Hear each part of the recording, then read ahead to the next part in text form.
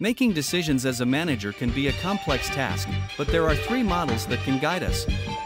The classical model is all about rationality and economic sense. We gather complete information, evaluate alternatives, and choose the one that maximizes organizational goals. While it may seem idealistic, incorporating thoughtful analysis into decision making can lead to better results. The classical model is most useful for programmed decisions and when there's certainty or risk involved. With the rise of big data, this approach is being automated in various industries. From predicting crime hotspots to optimizing pricing and scheduling, the classical model helps us make smarter decisions. So, let's embrace rationality and make decisions that benefit our organizations.